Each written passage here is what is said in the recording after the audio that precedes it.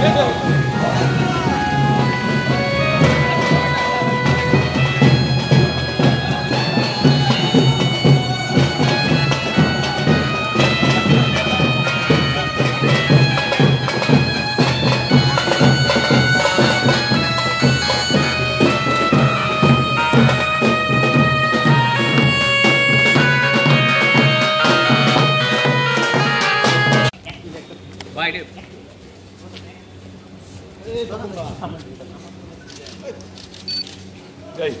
তপন দা আজকে থেকে অ্যাকশন শুরু না?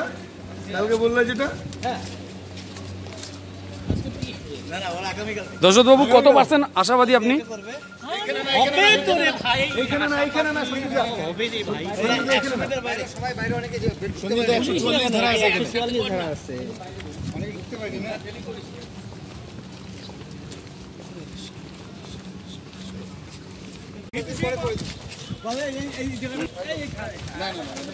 নির্বাচনকে কেন্দ্র করে আপনি প্রচারে কীরকম সাড়া পাচ্ছেন? একদম একশো এক প্রতিশত আমরা জিতবো। সব জায়গায় ভালো উৎসাহ আছে মানুষের। সব মানে খুব সুন্দরভাবে ইয়ে আমরা সারা পাচ্ছি। আর কি। দাদা বিজেপি তো বলছে যে ওরা ধরাশায়ী করে দেবে তৃণমূলকে। এখন পর্যন্ত ক্যান্ডিডেটে দিতে দিতে পারিনি কি ধারা সেই করবে? আপ- আপনাদের ওদেরকে সাহায্য করবেন প্রার্থী দিতে? কেন? আর ওরা তো দিতে পারছে না। না তারা আমাদেরকে দিবে ভোট। ওরা বলছে বিজেপি বলছে যে আলিপুরদুয়ারে এখনও পর্যন্ত যা পরিস্থিতি তৃণমূলকে ধরাশায়ী করে দেবে। কি বলবেন? এখন পর্যন্ত তারা নামেই নেই কি ধারা সেই করবে? আপনারা সবাই দেখছেন। বললাম প্রচারের দিক থেকে অলরেডি আপনারা অনেকটা এগিয়ে আছেন। অনেক আজকে নমিনেশন পত্র জমা দেওয়ার পর আর প্রচারের কি কি পরিকল্পনা? মানে এখন প্রচারটা কোন দিকে নিয়ে যাবেন? সেটা আমাদের নেতা বলবেন যেভাবে উনি নির্দেশ আপনার পরিকল্পনা কি আছে? আপনার পরিকল্পনা সবকটা বিধানসভা কাভার হয়েছে। আপাতত ফিফটি পার্সেন্ট হয়েছে। আরও ফিফটি পার্সেন্ট বাকি আছে। আমাদের জেলা নেতা যেভাবে নির্দেশ দিবেন সেইভাবেই আমরা কাজ করব। মূলত ভোটারকে কি বলছেন? মানে কি নিয়ে আপনি ভোট চাইছেন? এত উন্নয়ন হয়েছে বাস ওইটাই ইস্যু আমাদের। উন্নয়নকে হাতিয়ার করছেন। ইয়েস বিজেপি তো বলছে দুর্নীতি হয়েছে।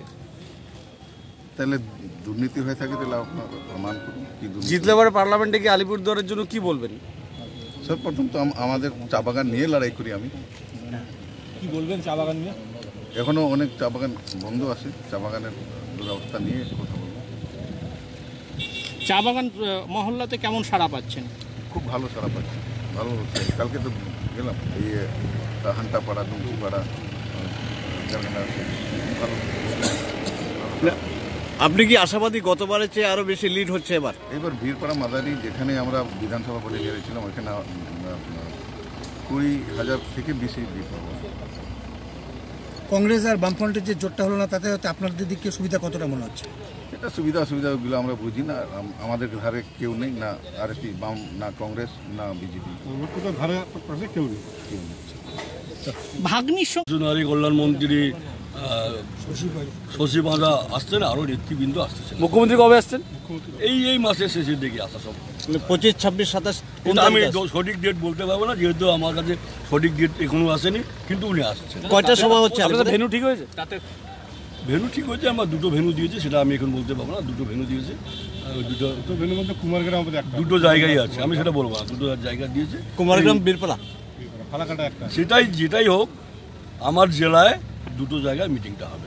মানে সেই কারণ কি? দুটো জায়গাকে বেছে নেওয়ার কারণ কি? সেখানে উনি করব উনি বলছেন যে প্রত্যেকটা বিধানসভার লোকের কাছে যেন আমি যেতে পারি আমি প্রত্যেকটা লোকসভা কেন্দ্রে দুটো করে করব সেই হিসাবে আমি দুটো জায়গায় করতে দুটো জায়গায় যেখানে আপনাদের? কিছুটা দুর্বল আমরা কোনো জায়গায় দুর্বল নেই। এটা বলে দিতে চাই। আমার এই মাত্র আমার এমপি ক্যান্ডিডেট বলেছেন যে আড়াই লক্ষ আমি বলছি আড়াই লক্ষর বেশি ভোটে আমরা জিতব। আপনাদেরই কোনো মিডিয়া বলেছিল যে পঞ্চা- পঞ্চায়েত ইলেকশনে সাতটা আটটা আমরা সতেরোটা করেছি একটাতে আমরা সামান্য আমাদের ভুলের জন্য আমরা হেরেছি। আজকে বলে যাচ্ছি এখানে আড়াই লক্ষের বেশি ভোটে আমরা জিতবো এই সিটটা। মনোনয়ন হয়ে গেল নেক্সট প্রচার কি ধরনের হবে? না প্রচারে আমরা আমাদের প্রচার বারো মাস। এখানে কোনো নতুন করে প্রচার করার কিছু নাই। আমরা বারো মাস প্রচার করে যাচ্ছি এক নাগারে এক ধারে মানুষের আপদে বিপদে সুখে দুঃখে আমরা সঙ্গে ছিলাম আছি থাকব। আগামী কুড়ি দিন কীভাবে পরিকল্পনা? যেভাবে আমরা করে আসছি ডোরে ডোরে যাওয়া ঘরে ঘরে যাওয়া বুথ ওয়াইজ যাওয়া মানুষের কাছে যাওয়া বোঝানো আমার সরকারের ব্যাপার বলা। প্রচার থেকে শুরু করে সবকিছুতে অ্যাডভান্টেজ আসছেন আপনারা। হান্ড্রেড আমি বললাম তো কিছুক্ষণ আগে বললাম আমরা নাইনটি এইট পার্সেন্ট পাওয়া ছাত্র আর সেকেন্ড থার্ড ওরা চেষ্টা করতে যে কেউ থার্টি পার্সেন্ট পেয়েছে কেউ টোয়েন্টি সেভেন পার্সেন্ট পেয়েছে। আমরা আমাদের ক্যান্ডিডেট হান্ড্রেড পার্সেন্ট মার্কস পেয়ে বসে আছি। দাদা মুখ্যমন্ত্রী এলে কতটা সুবিধা হবে? কতটা প্রচারে আপনাদের জোর আসবে? অবশ্যই আসবে। ওনাকে দেখতে লোক আসবে ওনাকে শুনতে লোক আসবে। মানুষের অনুপ্রাণিত হবে ওনাকে দেখে। অবশ্যই আমার ভোট বাড়বে কেন পারবে না?